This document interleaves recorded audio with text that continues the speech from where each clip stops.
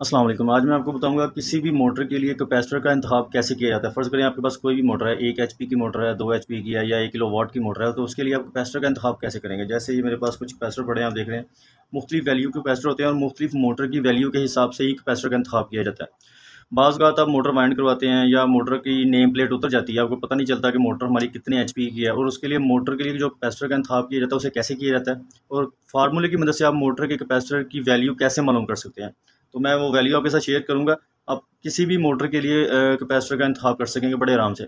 تو پہلے فارمولہ آپ سمجھ لیں کہ فارمولہ کیسے اپلائی کیا جاتا ہے کیسے کسی بھی موٹر کے لیے کیپیسٹر کا انتخاب کیا جاتا ہے۔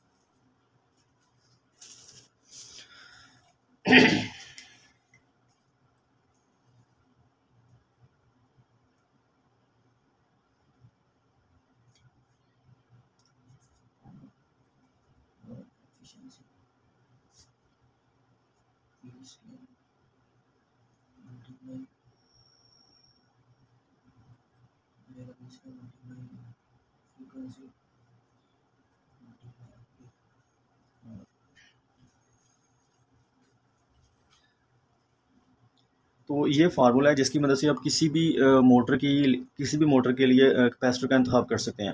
تو فارمولے میں جو چیزیں پٹ کرنی ہیں آپ نے وہ سمجھ لیں کہ یہ فارمولہ کیسے اپلائی اپلائی کر سکتے ہیں آپ کیپیسٹر کے لیے۔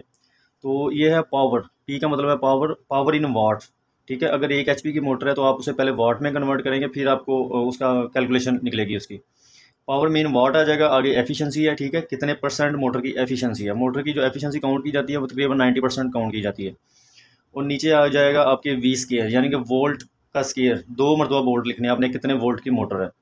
اور ساتھ آ جائے گا فریکوینسی ایف اور اس کو ملٹیپلائی کریں گے ایک ہزار کے ساتھ تو ہمارا کیپیسٹر کا انتخاب ہو جائے گا۔ فرض کریں کہ ہم ایک ایچ پی کی موٹر کے لیے کیپیسٹر کا انتخاب کرتے ہیں اور نکالتے ہیں کہ ایک ایچ پی کی موٹر کے لیے ہمارا کتنی ویلیو کیپیسٹر لگے گا۔ تو ایک ایچ پی کی جو موٹر ہوتی ہے وہ آپ کو پتہ ہے ایچ پی کو جب ہم واٹ میں کنورٹ کرتے ہیں تو ایک ایچ پی سات سو چھیالیس واٹ کا ہوتا ہے۔ تو ایک ایچ پی کی موٹر کے لیے ہم نکالتے ہیں، یہاں پہ آ جائے گا سات سو چھیالیس۔ ایفیشنسی ہماری آ جائے گی نبے فیصد۔ اور اس کو ہم سنگل فیز موٹر کے لیے نکال رہے ہیں تو دو سو بیس، ضرب دو سو بیس اور فریکوینسی آ جائے گی ہماری، کیونکہ فریکوینسی چلتی ہے پچاس ہرڈز اور اس کو ملٹیپلائی کریں گے ایک ہزار کے ساتھ ہماری ویلیو آ جائے گی۔ اس کو ہم حل کرنے کی کوشش کریں، اگر ہم سات سو چھیالیس کو نبے کے ساتھ ملٹیپلائی کرتے ہیں اور اس کو سب کو ملٹیپلائی کریں گے تو ہمارا جو آنسر آئے گا وہ تقریباً یہ اس کی ویلیو آ جائے گی۔ چوبیس بیس ملٹیپلائی ایک ہزار، ٹھیک ہے؟ اگر ہم اس کو حل کریں گے تو ہمارا آنسر آئے گا پوائنٹ پوائنٹ میں تقریباً۔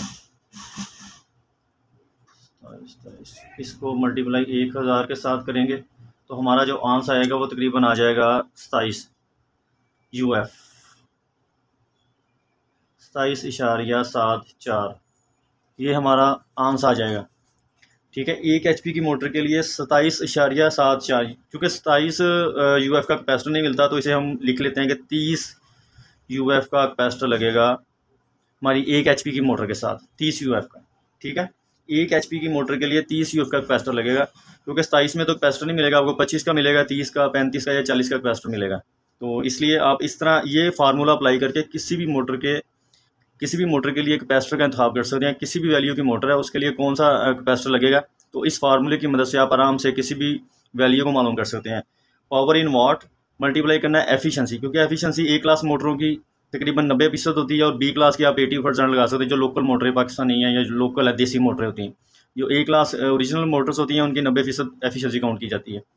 اور نیچے آ جائے گا وولٹ کا اسکیئر یعنی کہ دو سو بیس ضرب دو سو بیس۔ اور فریکوینسی ہماری چلتی ہے؟ پچاس ہرڈز اس کو سب کو حل کر کے ہمارا جو آنس آیا وہ آپ کے سامنے ایک ایچ پی کے لیے ہے۔